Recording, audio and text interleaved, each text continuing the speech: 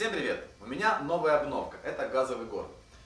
Взял я его для того, чтобы поэкспериментировать э, с дамасской сталью. И самое главное, я хочу попробовать сделать лист из вот такой болванки.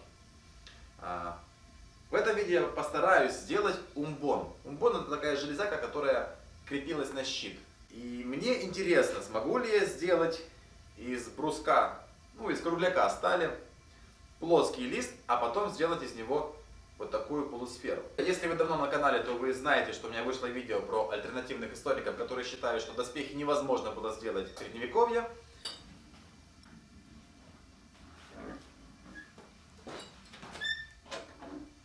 Если есть листовая сталь, то это говорит о двух вещах сразу. В 15, в 13 веке умели лить листовую сталь и прокатное производство. Никаких рыцарей не было. Все доспехи сделаны кузнечно-прессовым оборудованием из легированной стали. Неужели в 15 веке были стали прокатные станки? Где в 15 веке была листовая сталь? Их для сувениров делали и ставили в залах каминных. Нет ни одного доспеха, на котором есть царапины или вмятины, например. Вот это поворот! Я им не верю, потому что я много имею дела с музейными экспонатами. Часто приходится изучать и смотреть, э, какие доспехи были и как они могли быть сделаны. И мне кажется, что в Средневековье, в 14-15 веке вполне могли разбивать вот такие толстые бруски стали с помощью водяного молота, который работает как мельница. Вал приводится в движение с помощью реки. Она крутит вал, э, и уже в мастерской этот вал начинает поднимать тяжеленный боек на рычаге, который поднимается, а потом падает со всей своей силой. То есть чем тяжелее боек, тем сильнее он ударит. Причем хочу заметить, что при такой большой массе, скорее всего, эффект будет как что-то среднее между современным кузнечным молотом и современным прессом.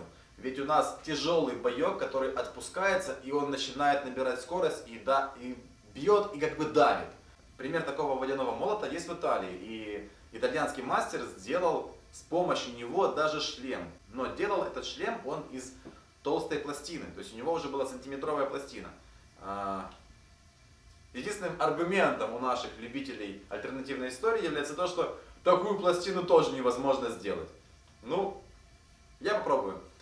Правда, я буду, конечно, делать не средневековыми инструментами, а современным газовым горном, который мог быть заменен в средневековье на обычный горн с древесным углем, и у меня вот пресс стоит, но который тоже мог быть заменен или на пяток молотобойцев, или на водяной молот. Посмотрим, что получится.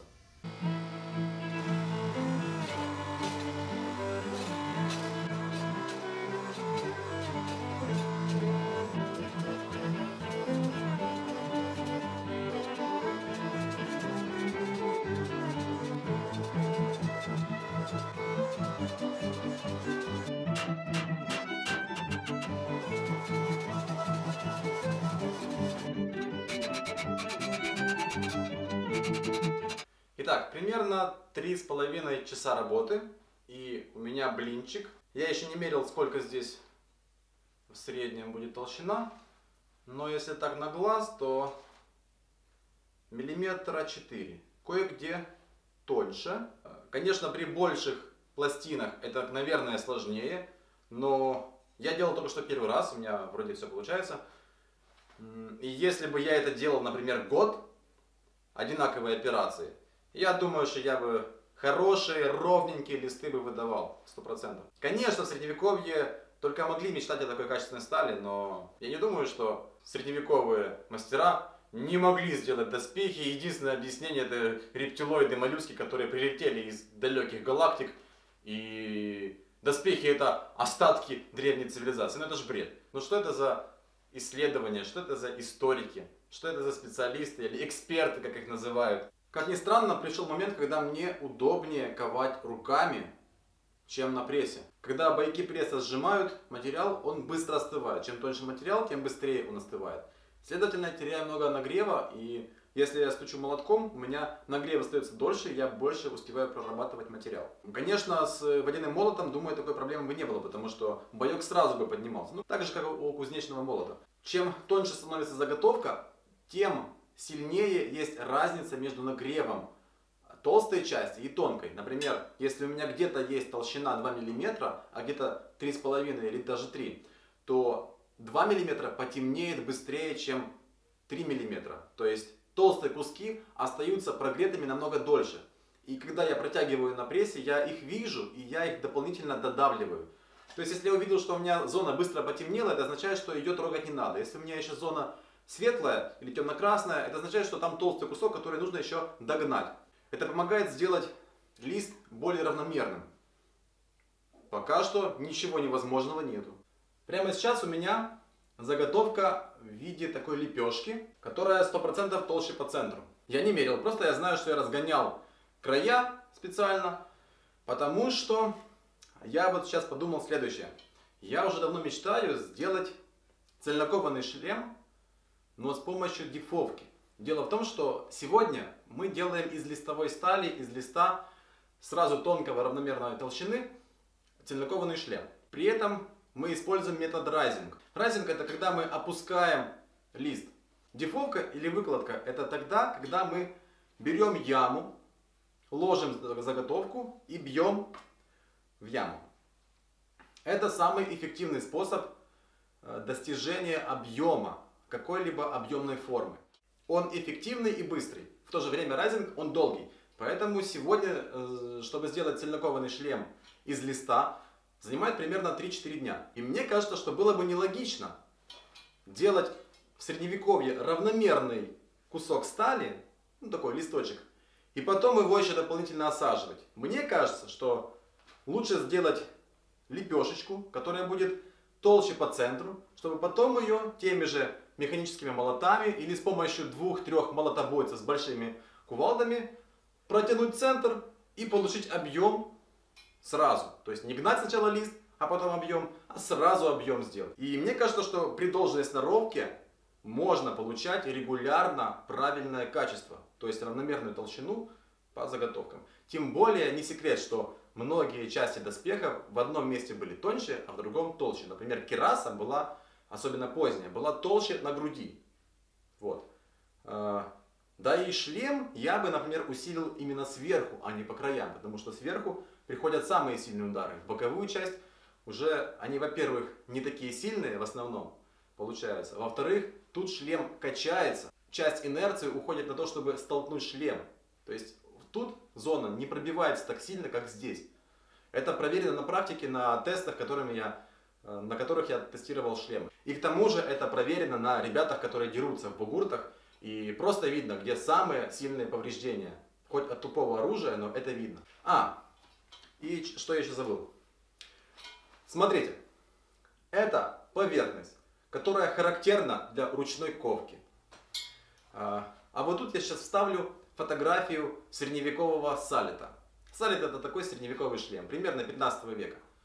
И вы можете увидеть такие же пакованности. Никакого проката тут их помине нету. Откуда взяли альтернативные историки, что это сделано из проката? Почему это эксперты не изучили все экспонаты музейные и не нашли эти фотографии и не показали своей аудитории, что вот почему-то вот тут у нас шлем и вроде как не из проката. Почему? Загадка. Точно так же, как и почему в эту альтернативную историю так много людей верит. Да, как померить толщину э, листа, который раскован вручную. Ведь я могу случайно перетянуть где-то и станет слишком тонко, или же оставить слишком толстым. Я не знаю, как точно делали средневековье. Но предполагаю, что это можно делать, например, кронциркулем. Он, я уверен, что он был средневековье. Пруфов сейчас у меня под рукой нету, но, по-моему, я видел гравюру, где с похожим инструментом нарисованы средневековые мастера. Как он работает? Это просто две лапки, которые можно или сжать, или разжать. Кстати, можно еще мерить вот таким образом. Вот толщина, которая у меня по центру блина. Здесь, мне кажется, 5, нет, 4 миллиметра, возможно 4,5. Посмотрим. Нет, 5 миллиметров ровно, если верить линеечке. 5 миллиметров ровно. По центру у меня 5 миллиметров. Это дофига, мне нужно тоньше. Я уверен, что я могу спокойно догнать этот весь лист в толщину 2 миллиметра. Вообще не составляет труда. Это займет какое-то время, но мне это не интересно сейчас. Потому что, как я говорил, Уже лет 10 я мечтаю попробовать из блина растянуть заготовку и посмотреть, получится или нет. И, наверное, сейчас я это и сделаю. И я вот смотрю на размер, мне кажется, если все пройдет гладко, это даже будет не умбон, как я думал, маленькая полусферка, а такой черепничок, шлемик на голову. Маленький, но, но это целый шлем.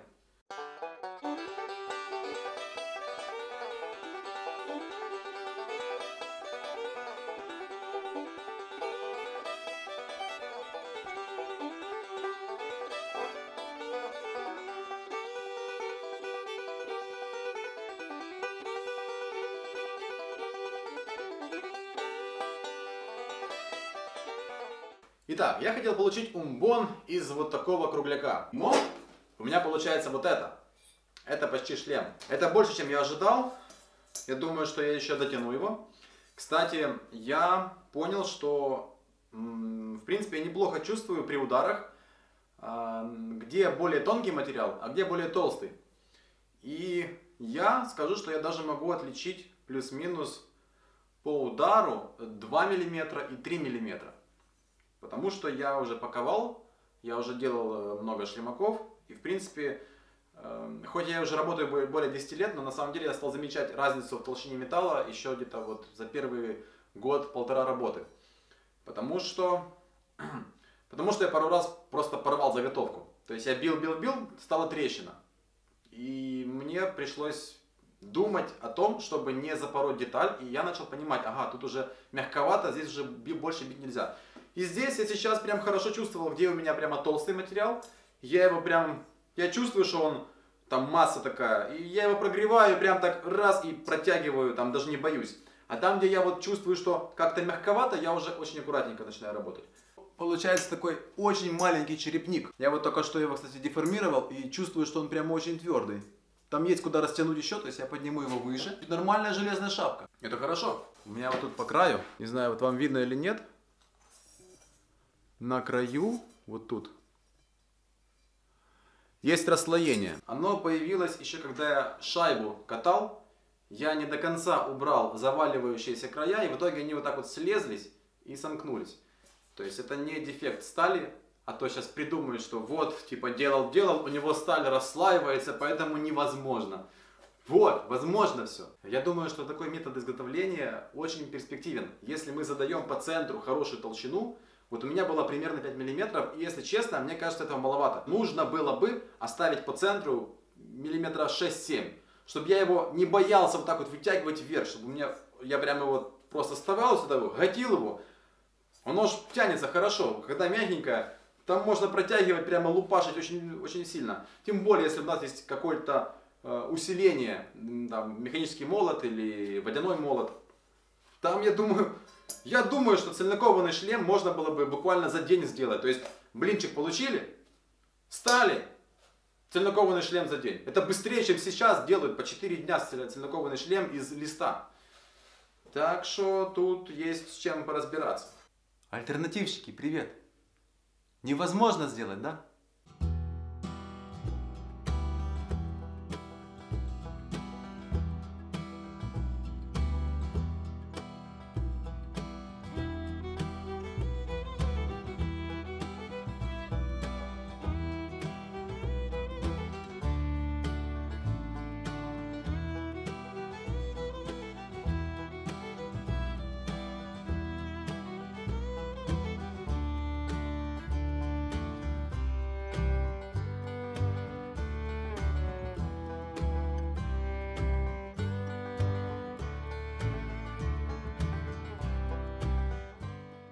А, и да, ребята, в комментариях будьте вежливы друг к другу.